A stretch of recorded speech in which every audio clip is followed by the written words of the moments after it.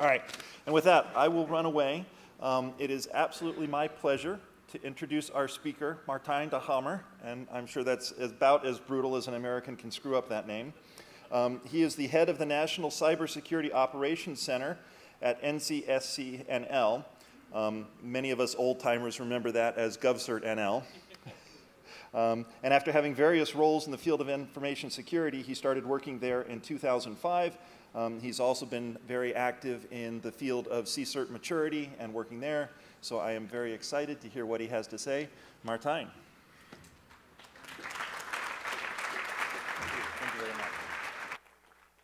Right, thank you very much, everybody. Um, so STIX 2.0 is technology, so I'm not going to talk about that or mention it in, in any way today. Um, I'm actually going to talk about um, uh, CSIRT maturity. Um, I'm a runner, and I'm in a team that runs from Paris to, to Rotterdam uh, every year. Uh, unfortunately, I was unable to do so this year because of health issues, but last year I did. And uh, last year was the first time my team, team ran from Paris to Rotterdam. For those of you that don't know the distance, it's about 520k running from Paris to Rotterdam, which is quite a feat. Uh, we do this with eight people in two teams, and the complete team is 25 people. It takes about 48 hours, and it's a non-stop relay. Um, wh while preparing for this talk, I was also preparing simultaneously for this run, and it struck me that there are quite a number of similarities uh, between preparing for a run and preparing for uh, a CSIRT and making sure that your CSIRT uh, becomes mature. So um, basically, the first one is that you need to learn from others. You need to stand on the shoulders of giants. So we learned very quickly how not to do stuff by copying, for example, scripts from other teams. Um, the, the, next thing is that you need to keep on measuring your speed. So measure to see how you're standing to, uh, in relation to your goal, which is quite important. Otherwise, you're not going to make the cutoff of 11k per hour. So we aimed for 11.3k per hour this year and the heroes that ran the, uh, the, the, course actually ran 11.6k per hour. Um, the reason why we're doing this is for a good cause. We're actually collecting money for, uh, for people that have cancer and for the, not the cure for cancer, but for the care for cancer patients. Um, that's why we're you know, doing this and we're very invested in, in this topic. The last um, parallel basically is that you need to um, practice, practice, practice. Uh, without doing the practice, you have no idea what you're doing along the way. And this is also something we see in setting up CSIRT and running a CSIRT. I can tell you, when, you, when you're driving down from The Hague going to Paris and you're in a car that goes at 120k per hour and you're in that car for about four and a half, five hours, you really get a feel uh, for the distance. And it definitely helps keeping your sanity, knowing that you've got a process, you've practiced, you know you're going to be able to do this. Uh, because otherwise you know, it's, it's like eating an elephant. You need to take one step at a time. The same goes for setting up a CSIRT and becoming more mature as a CSIRT. Now let's start with the main message. Um, first of all, we're all interlinked, which means that uh, we help ourselves by helping others. So if one team, um, we here as established teams, we all need each other. So when I know uh, what you do with my information, and when I know what your information is coming from and what you've been doing to get that information, uh, we can help each other in a better way. By helping other teams set up, we can kickstart them in, in the process where they um, become, become more uh, mature and their information becomes more valuable, basically. Then maturity is not about technology. We love the tech, obviously. I mean, we, we, we all love PCAPs and we love the PCAP wizards and we need the tech. But talking about maturity is about talking about processes. It's about uh, talking about government, uh, governance. Um, you need to practice. You need to have your, your, your um, uh, when the going gets tough, you need to know what you're doing. That's what, what, what maturity, maturity is about. And it's also about measuring and, and proving your maturity and having a goal towards your maturity, uh, maturity level. And also make sure that you don't revert back to a two-year-old situation where you have uh, you set up your CSIRT, You've been uh, going at it for, for a number of years, and without knowing it, without realizing it, you revert back to the, uh, the, the CSIRT that you were when you were 16 years ago, uh, not very, very mature. So beware of the Benjamin Button effect, basically. Now, as to the why, uh, why we're doing this, there's a, a, group of organizations and people, it's a bit of a pity that the, the image is a bit dark um, because we believe uh, th there's a group of people that work on this. It's FIRST, it's ENISA, it's, it's others, more on, on, on those organizations later. Um, but we believe in an open and free and secure internet. And we believe that we cannot do this alone. That's why we believe that we need to have teams stand on the shoulders of giants. Uh, we're the giants, and we hope that others uh, will be able to stand on our shoulders, look further than we have, and set up quickly. Also, we see a need for, um, for, for more teams, be it legislation, be it uh, a government assignment, be it some, something else. There's a great number of new and future, future teams. So there's a great need of, of more information sharing and, and more um, helping others set up. Now, the last one, which ties in with the Benjamin Button reference, is the current approach might not be as effective, we have noticed as NCSC, uh, as we thought. So after going, about, uh, going at it for 18 years, we now realize that maybe you know, we're still telling people to do very basic stuff, which might not be the best. So apparently uh, there's something wrong with our message, or there's something we need to change, need to change in our message to help our, our constituents.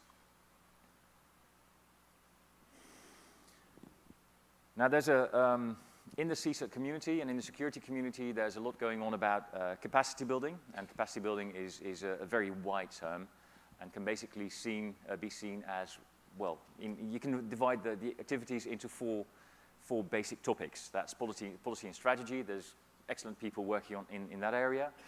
Uh, there's matrix improvement, as in laying a mesh of CSIRTs and security teams over the world, um, again, helping us by helping others. Uh, and there's the operations, so how do you do the stuff you need to be doing to keep your uh, constituency secure? Um, and in this talk, we're going to be focusing on CSIRT maturity because that's the topic we've been working with a great number of people.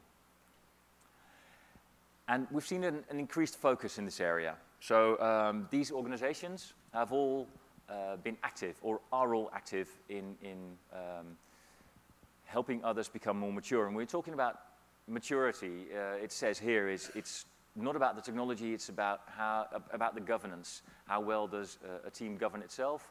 Um, how well does it document itself? How well does, does it measure itself? How well does it look at itself and, and make sure that you actually do the stuff you need to be doing? On the other hand, um, we are a bit of a puzzle as teams. So um, as a community here, we all know the, the, um, the value of having a security team or a CSIRT or a PSIRT.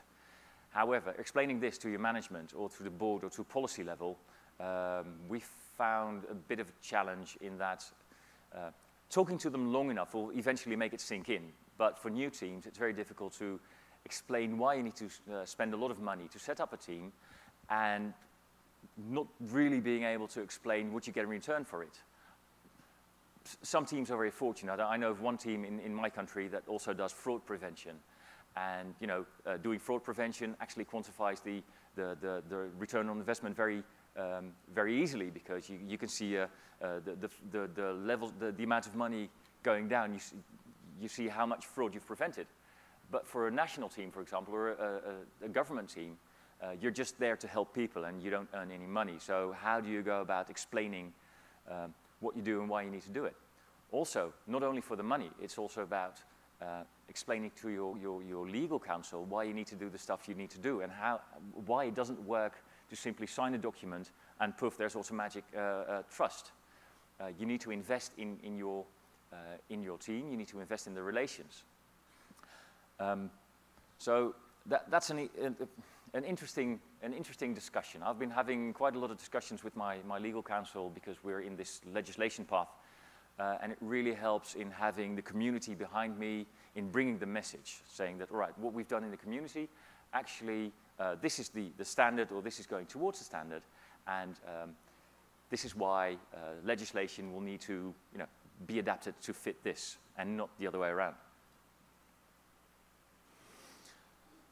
There have been a couple of milestones done already. This is definitely not all of them. Um, what I can tell you, the first, the first brush I had with, with um, um, maturity was in 2006. I started working there in, in, at uh, in 2005, as Derek already mentioned. Um, the first thing we did when I was there is, is publish the cert in the box. um, CD. It was actually a physical CD. It was tinned, so you had this cute little tin where you could, you know, uh, take the, the, the, CD out, put it in your very old-fashioned. It was very nice. But it explained the process of how GovCertNL actually set up and something about our legal processes and about how we go about um, telling our constituency um, uh, uh, about the threats, about advisories. Um, then, obviously, since 2008, there's the SIM3 model, which is the, the, the, model that will help a team, a security team, measure and, and um, get an insight into their maturity. It's the, the maturity model that we've, uh, as TF-CSIRT and as trusted introducer, have adopted as GovCertNL slash NCSCNL. Uh, we're quite proud to say that we were the first one to be actually certified with this model, and it's proved to be a very good basis for teams to measure themselves.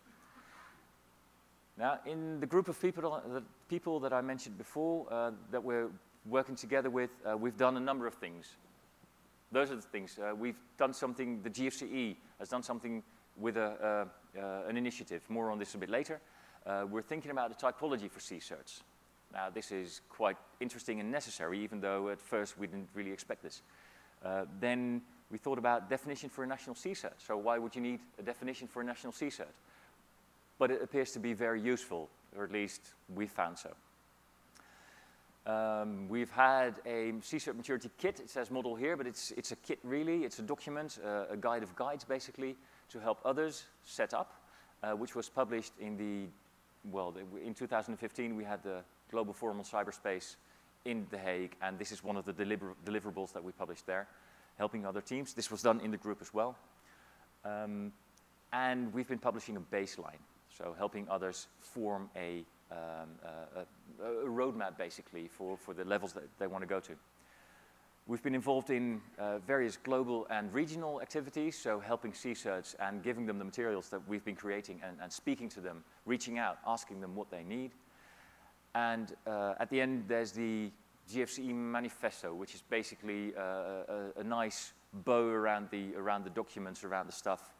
Um, that is going to be drawn up by the GFCE. That's a lot of policy work, a lot of legal work. Still, it's very necessary to get the, the buy-in from the right levels. And the potential next step is uh, giving more handle to you know, the tools that new and, and, and future teams can actually use.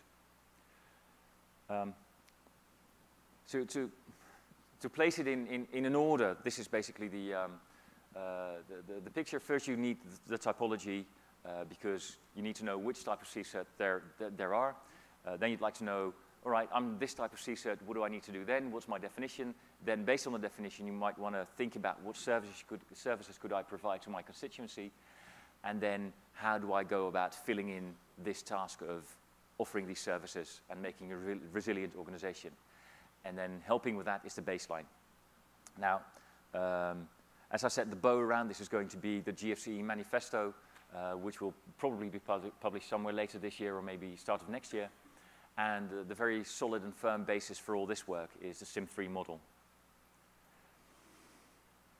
In 2015, we had the uh, Global Forum on Cyber Expertise in, sorry, the Global Conference on Cyberspace in Holland, in, in The Hague. Um, and we, as a deliverable, we delivered the Global Forum on Cyber Expertise. So that's a, a podium, basically, where organizations and countries can uh, start initiatives on particular topics. Uh, with a group, uh, in initially starting as Microsoft, OAS, ITU, and the Netherlands and the Dutch government, we started the CSIRT Maturity Initiative, and fortunately the group grew very quickly. Um, and we're aimed at, as I said, uh, policy and board level to make sure that the right message and uh, lens, lands at the right uh, level. We've had a number of uh, expert meetings where we discussed various topics. So, um, for example, all the topics you saw just now, we discussed why would this be necessary, why would this be relevant, and what is already there, because last, week, last thing we want to do is use or reinvent the wheel. We want to use the stuff that's already there, and we also want to align with the stuff, with the initiatives that have, have been going on.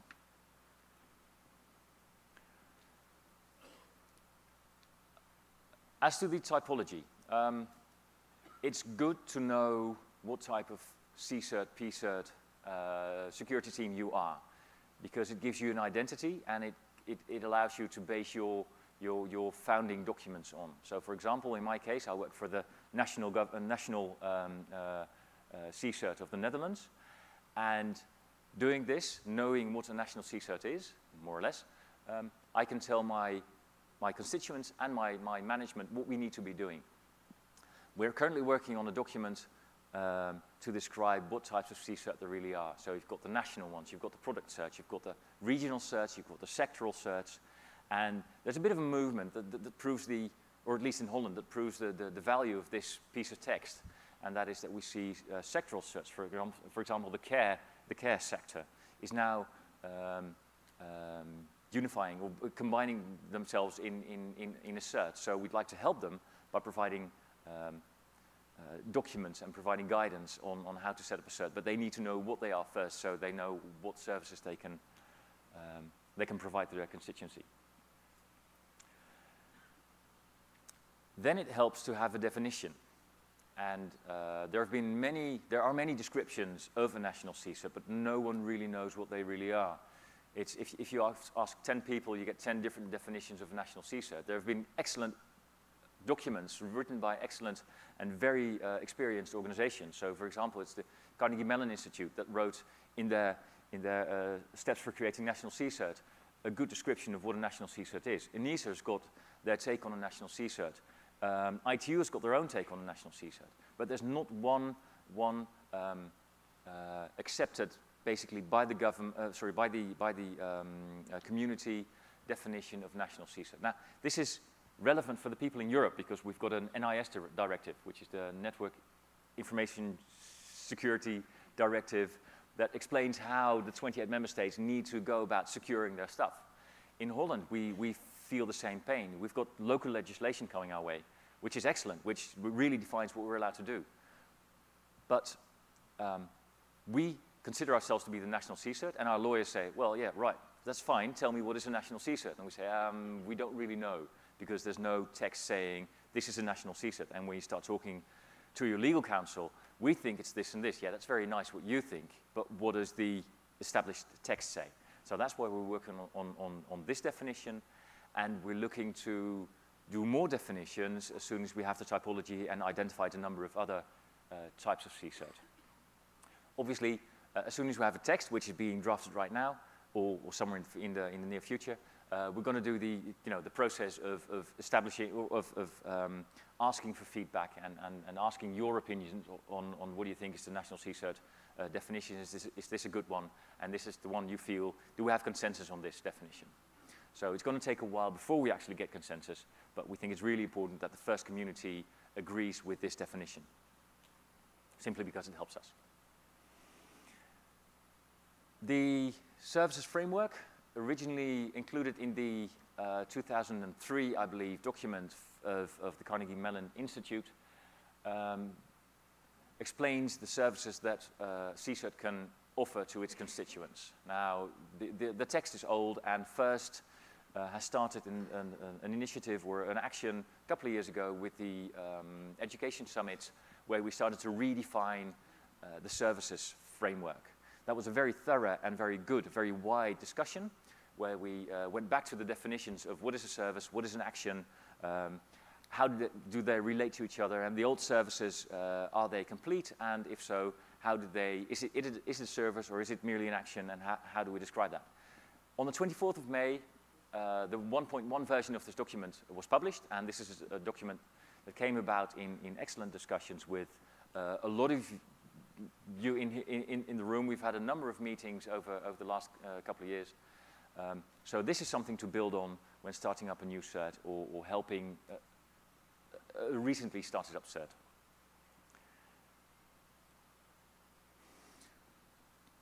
During the um, GCCS, as I said, we published a document uh, geared towards helping starting and new CSIRTs set up.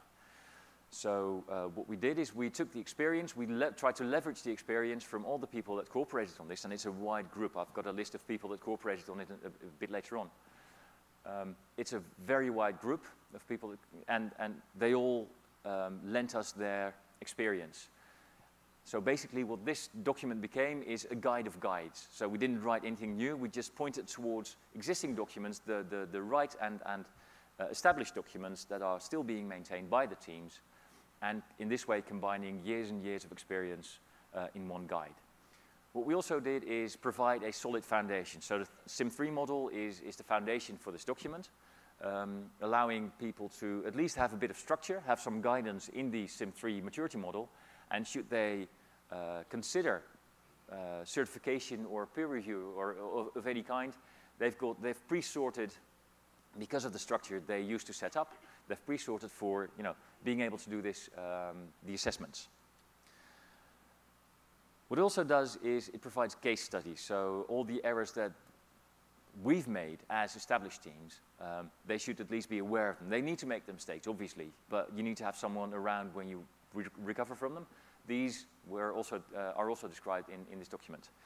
And um, one more thing is that there's some stuff that is kept under the radar or is, is really easy to forget when you're starting up. So for example, your legal stuff, your communication stuff, how do you, how do you involve um, uh, your legal friends?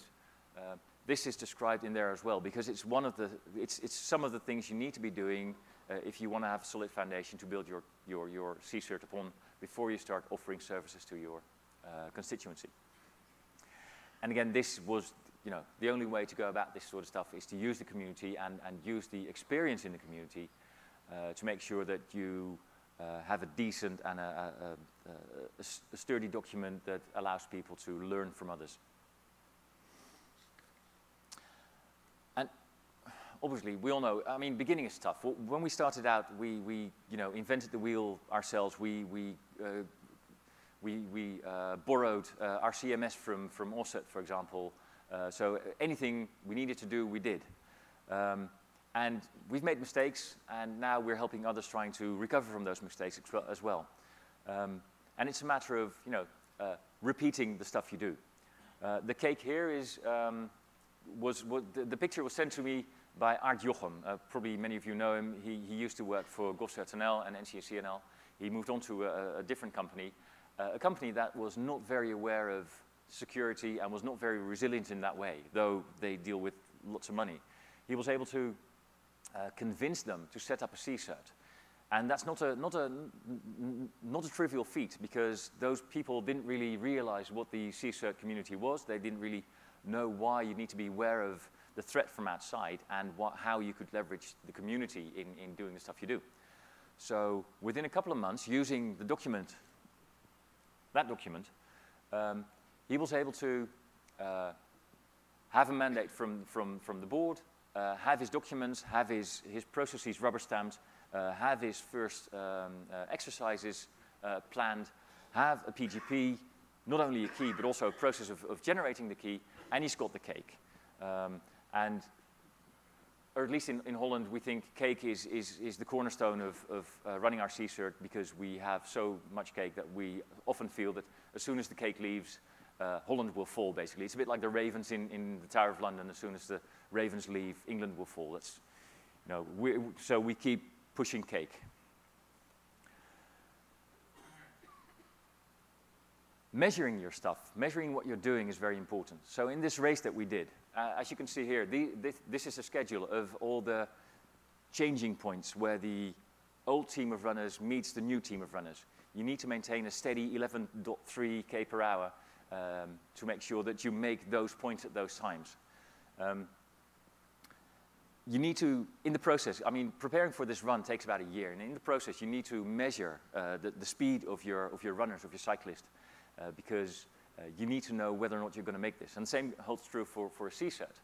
If you've got your goal and if you, if you know where you want to be, if you want to have a particular level of maturity, you need to keep measuring uh, the points in between and, and being very critical in the process.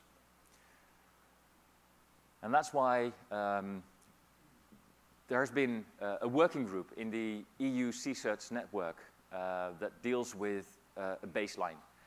Um, based on the SIM3 model, uh, there's a set of values um, that you need to get for particular, there, okay, there are 44 um, variables uh, in, the, um, in the SIM3 model. And for each of those variable, variables, you can have either uh, a score of 1 through 4, and where 4 being the best, and, uh, sorry, 0 through 4, and 0 being non-existent, and 4 being the best. More on this a bit later. Um, so for a national or a government CSIRT, we've actually uh, defined those levels.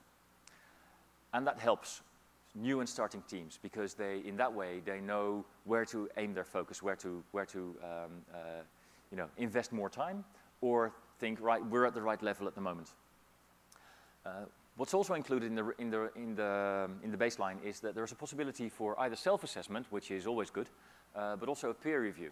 So if there's a particular team you trust, uh, or you can ask them in and so show them your, your processes. If there's a particular team you don't trust, and you don't want to have them in your organization, just leave them out. You can, uh, in any way you like, uh, do measure, measure your own uh, progress. What this helps is um, it, it, helps provide a roadmap. So if you measure yourself and you, you discover I'm not a basic, or I'm, I'm, at a basic level at the moment and I'd like to be in the intermediate level, um, you know which variables or which, which parameters you need to improve on. So that gives you uh, basically the roadmap uh, towards the next level of certification. And even though it's created for the EU CSIRTs network, obviously it's open for all. Um, you know, uh, reach out to me in, uh, after the talk if you'd like to know more about this, or reach out to any of the team. Um, more names on the board later. If you'd like to know more about this, because it really helps teams as a whole to measure their maturity.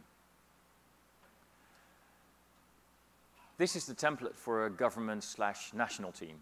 So any government slash national team, uh, they can basically start um, learning how they stand. Uh, are they basic level of maturity, intermediate level of maturity, or certifiable level of maturity? Um, and these are the 44 or 45 questions, each with the uh, value that you need to score in order to, to, to achieve a particular level of, of maturity. Now some, one example, um, this is a question on uh, service description. So it's completely illegible, so I'll, I'll, read out the first sentence. What services are you, um, what are the services that your CSIRT offers, uh, offers to their constituency? Do you have it clearly described? Do you know implicitly but don't talk about it? Do you actually talk about it? So each of the levels, uh, you, you, can see the values there. So value one is no, it's never discussed. Uh, value two is uh, we know what we offer, but we don't really, we haven't really written it down. Um, level two is yes, we have written it down, but it, you know, it's, it's just an informal document. Uh, level three is yes, we've written it down, we've published it, and everyone knows it in the, in the, in the organization. So if you don't comply with it, um, we'll have a good discussion. And level four is uh, the same as level three, but then with the uh, rubber stamped, the, the annual audit uh, and the, uh, the assessments going on on, on this uh, level. And if you go about answering all the 44 or 45 questions, you get an idea of how your spider graph will actually look for your organization.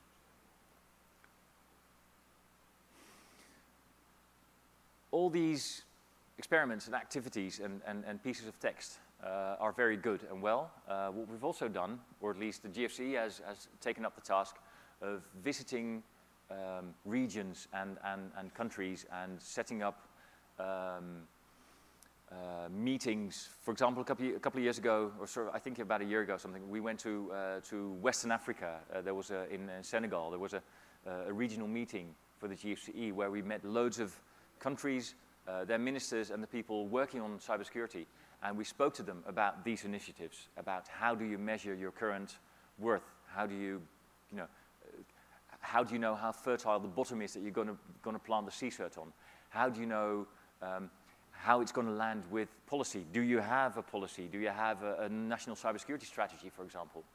Um, it really helps in getting an overview on the, on the, on the countries um, where they stand. And what we noticed, even, even countries that have had major issues in, in the past, also in Western Africa, they're now very much aware of the need for cybersecurity because, be it because they see money hemorrhaging away from their country because of fraud, or be it because they see um, cybersecurity, oh, sorry, the internet as being, as being the, the, the, uh, the, stimulus for growth in their country, economic growth, for example. They see the need for uh, setting up a CSIRT, and that's why we as a community, I think, need to help them set up.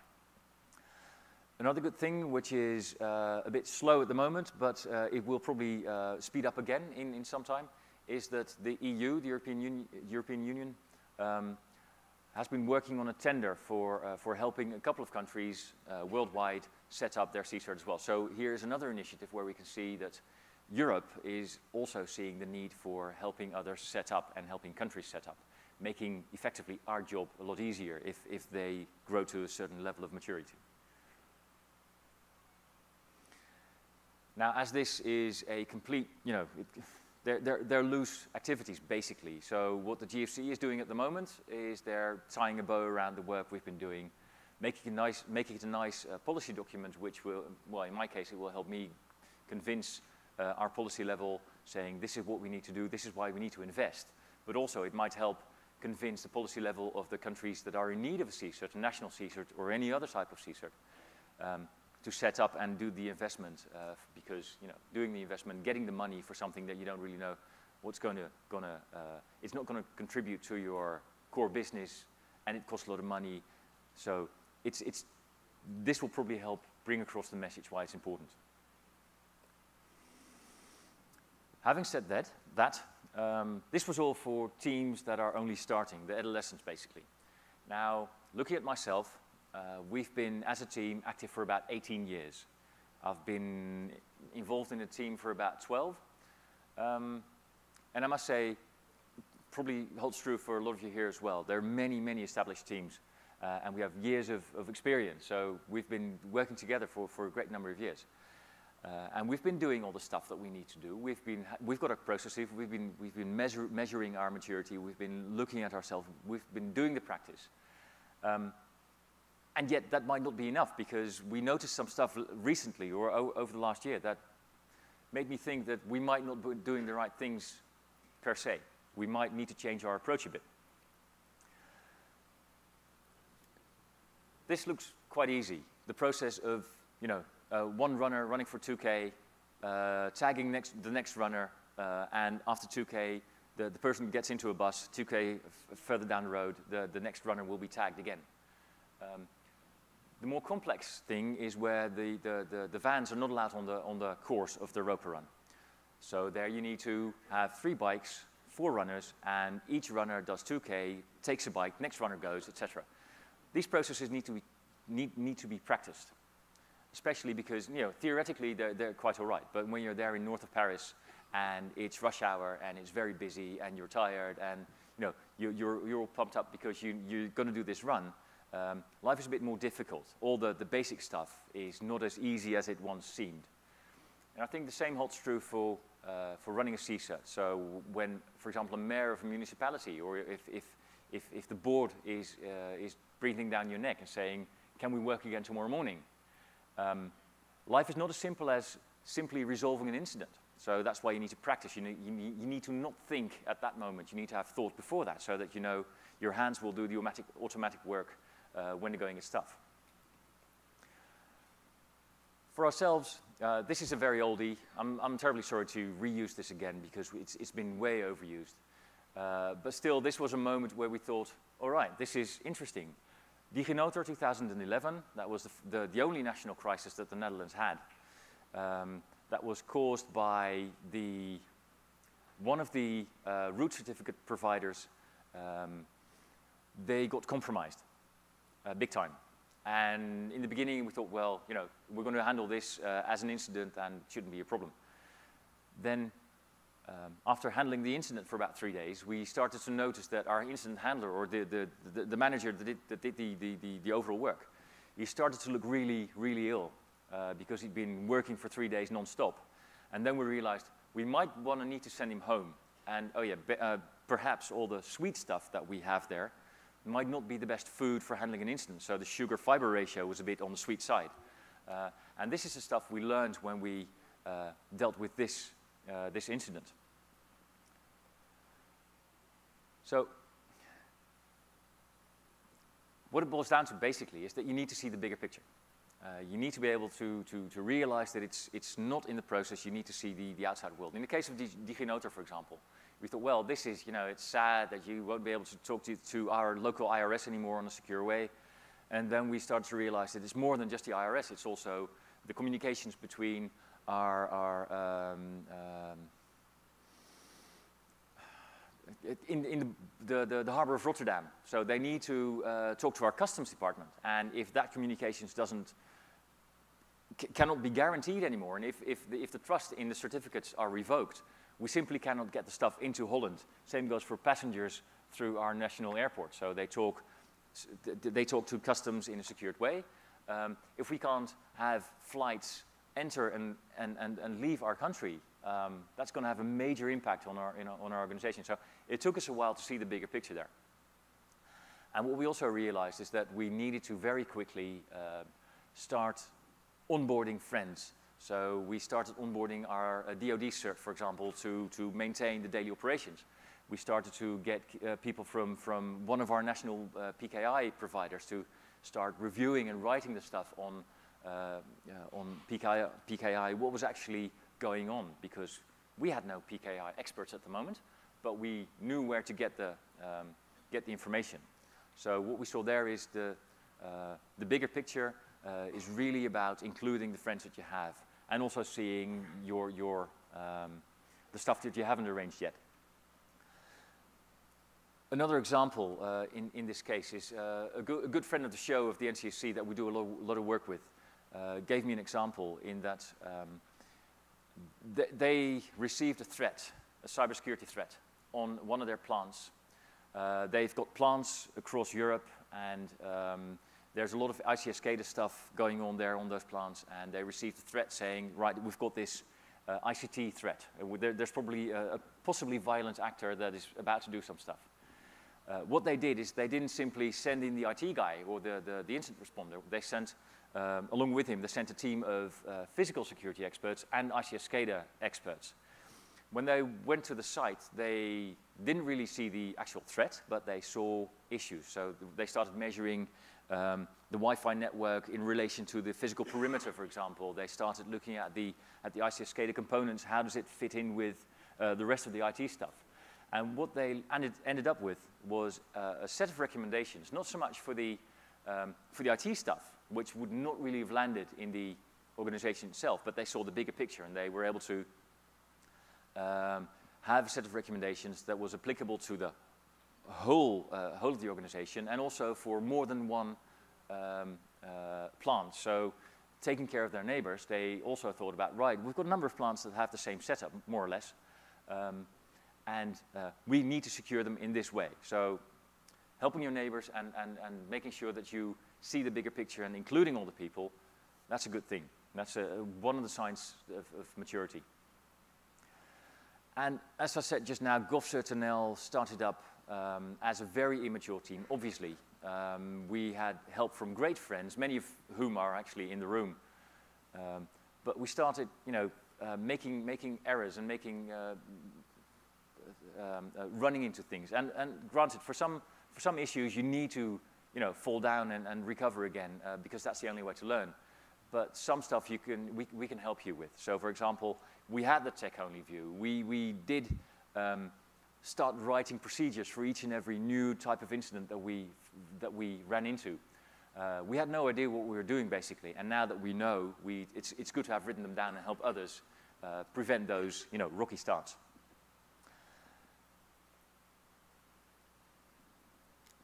Over the last couple of years, in order to become a bit more mature, um, what we did is a couple of steps. So we had the formal inspection of our advisories, our tech advisories, uh, which um, was done by a, a, formal inspection body in the Dutch government. And all the stuff they told us about is the stuff that we uh, have been changing in our tech advisories. So having a good look at ourselves. Um, we are currently, in, in the next week, we're up for the the second recertification of the, of, of the SIM3 certification, which is uh, having a, a, thorough look at yourself as well. So um, making sure that you have your processes in place, etc. Uh, make sure that you don't revert back to um, the situation of a couple of years ago. We had the 24-7 operations, which was interesting. Um, we invested a year and a half in, in setting it up, doing it, and discovering that we were not ready for 24-7 operations on site because simply with our constituency, there, were, there, there, was, there were not enough incidents that were um, serious enough to have well-educated, um, very critical and, and very technically sound staff uh, on site. So with the risk of boring those people away uh, and with the risk of you know, not being able to, being able to find skilled IT security staff, um, we decided, or government, uh, sorry, um, uh, management decided to roll back the, the uh, decision to not do 24-7 operations anymore. We are 24-7 available and we are 24-7 reachable in the sense that any, any keywords that pop up in our, in our mailbox or our other systems, you know, they make sure that someone gets called awake, but we have now extended office hours. So again, a, a very critical look at, at ourselves. Uh, we increased the talk to our constituency. Um, we are currently working on uh, a national detection network, which is key in actually seeing what's going on in your constituency networks. Because otherwise you're blind. We're also doing stuff in, in uh, threat intel, etc. Uh, so we're improving there as well, seeing or, or, you know, improving the, what we see and being able to respond more quickly. Um, we have a very close relationship with our constituency and we have liaisons that visit us about every week. So liaisons from uh, various sectors, from other uh, government organizations, etc. And we share information uh, about um, very uh, current uh, uh, affairs. So for example, if we have something that might, you know, reek of espionage, we start calling the Secret Service, our Secret Service, or if it might be something that has something to do with um, cyber crime, We've got the police department on speed dial, for example. Also, uh, as I mentioned, we've got uh, specific legislation coming our way, which means that we're going towards um, um, uh, the NIS directive. We've got our Dutch translation, our local law for this, which means that we're allowed to deal with particular kinds of personal information, which is also regulated in the General Data Protection Regulation in the uh, EU um, and it's only going to get more strict. So we, we have it uh, embedded in the law that we're allowed to do particular stuff. I mean, we need to do particular stuff. And we're also have a particular exempt from, we're exempted from, from the FOIA, which means that in particular uh, situations, we're not even allowed to give information uh, when we receive uh, a Freedom of Information Act uh, request. So that's all very good. It's all, it's all you know, we, we're doing our work. What we notice is that um, we might not be reaching our constituency really well because uh, you probably recognize that picture there as well. Um, during the WannaCry thing, um, we still needed to tell, to tell, organizations that they needed to patch. So it's, it's a, we got the feeling, do we really reach out to our constituency enough and do we really get the message across?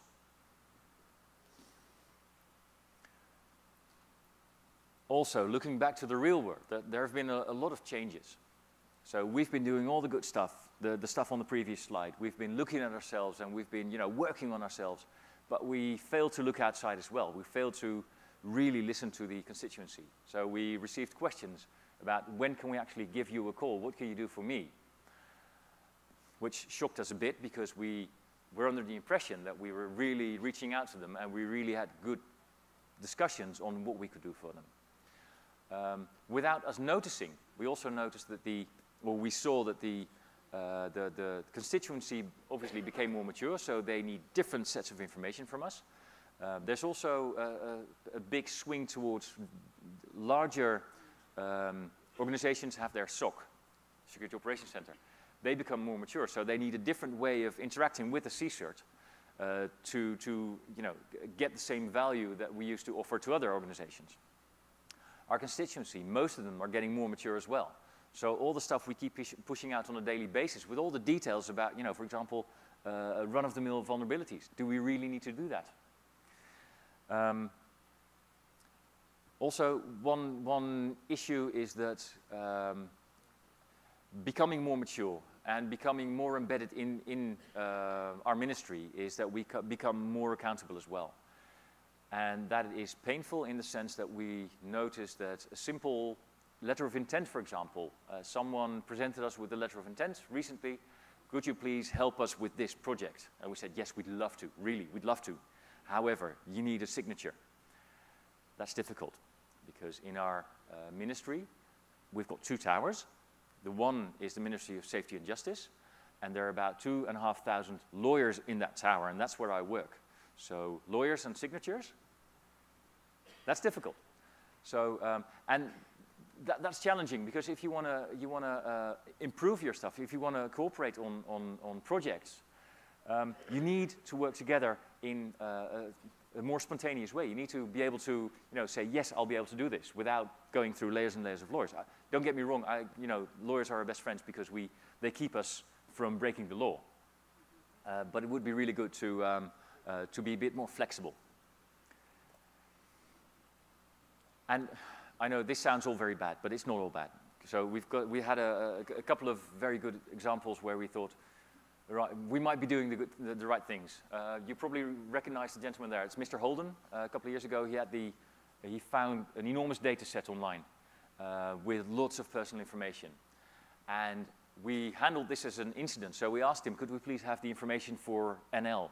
Because that would really help us help our country and our constituency. Uh, he said, yeah, sure, there you go. And before we know it, we were stuck with an enormous database of personal information. So that's when we rediscovered our policy department and our legal department and said, yeah, um, this is all very good and we need to help our constituency, but if you share it any wider than our constituency, uh, we're breaking the law and that's not a good thing.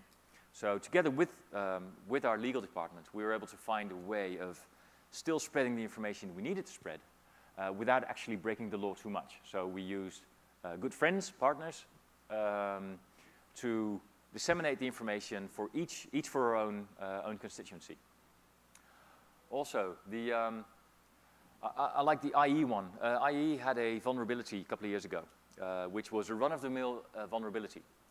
We noticed that the vulnerability, you know, in, in our matrix, in our, in our set of, in our assessment, we said it's medium probability that this will be, will be exploited, and when it's exploited, it will have medium damage.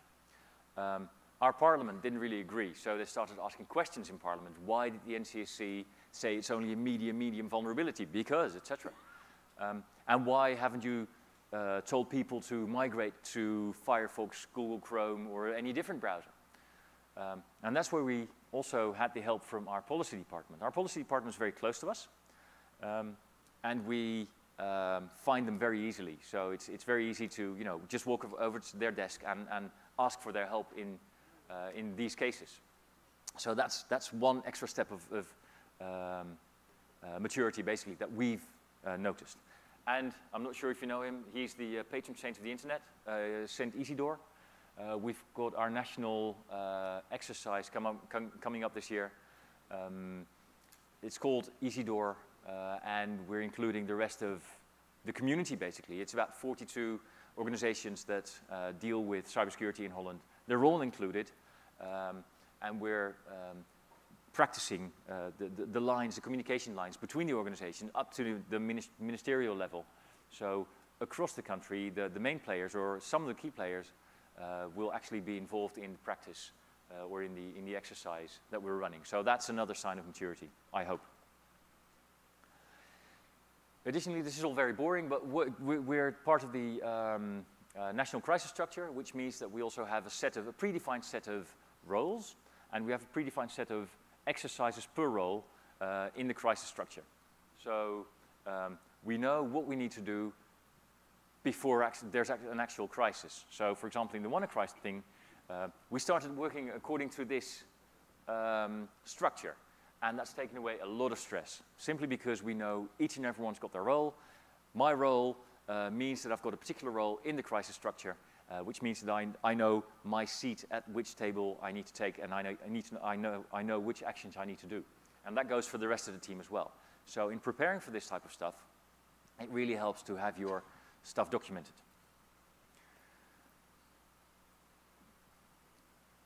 We're not there yet.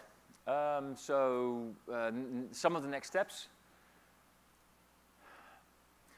I think, and that, that's, that's also a request to you, um, please let's see what we need to do to better reach our constituency.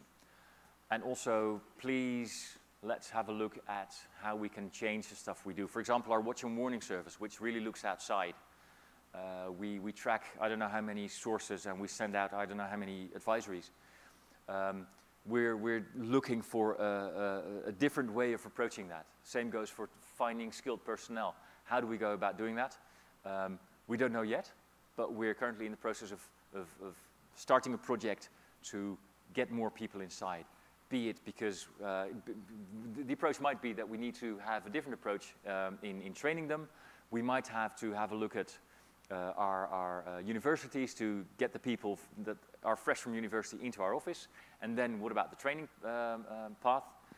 And also uh, reach out to other partners in, in this community that have the same challenges as we, as we have.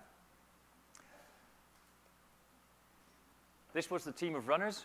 You won't believe it, but they, they were actually, had been running for about, I don't know, 44, 45 hours uh, and they were still quite fresh and very, very relieved to be in Rotterdam after a grueling 48 hours or 43 hours of only running and, and becoming very tired.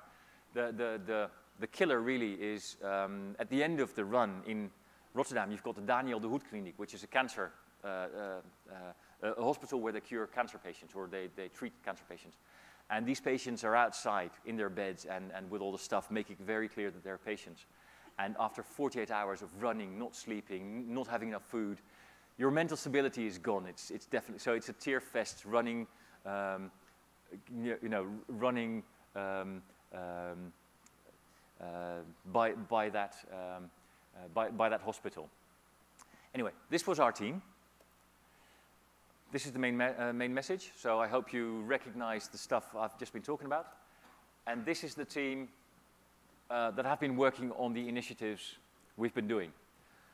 As you can see, a very wide variety of, of teams, of organizations, not, not all national, not all governmental, not all uh, sectoral. You know, it's, it's a mesh of, um, of, of various uh, across the board, across the, uh, the, the, the, community. Obviously, there's the, the, the, first that's got a very important uh, role in, in, in facilitating uh, the, the people from, from first, uh, they've been very active in, in pulling this forward.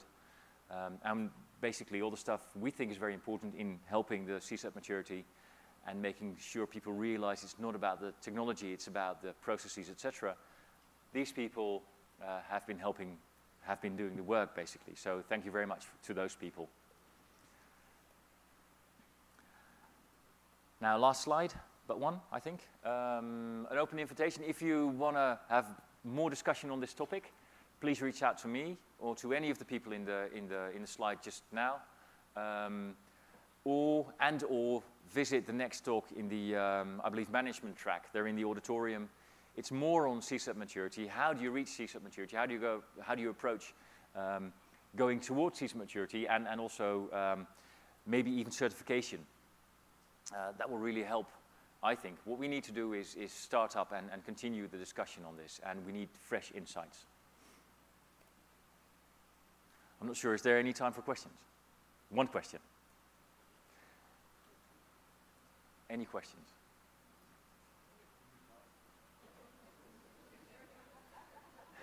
You don't let me down, Kauto. Thank you. I actually challenge you to invented yet another layer of maturity. And that is the maturity of cert to cert cooperation. Nice. How we alert each other, how we handle incidents together, how we analyze malware together, how we deal more complex cases together we, are, we are, have defined maturity scale for internal processes, maybe something on the how we pr produce output, but not really on the how we cooperate and really on the global scale. We actually had a very good exercise on global scale cooperation just a couple of weeks ago. And I think we didn't score a perfect 10 on that. Uh, so I think we have uh, some work to do, uh, in addition to what you have already done, yeah. which I would like to thank you for, for, for, your, for your efforts. Just a comment. Yeah, I, I, definitely agree. That's, that's one of the steps that we haven't really done yet. Uh, there are some, some steps going towards that issue, uh, or at least in the European perspective. Uh, but it's definitely something we need to uh, give more attention to. And if I, if I can bother you for some questions after this, uh, and, and in, in the period of time after this, um, that would be really good, because I think that that's still one of the issues that we need to tackle.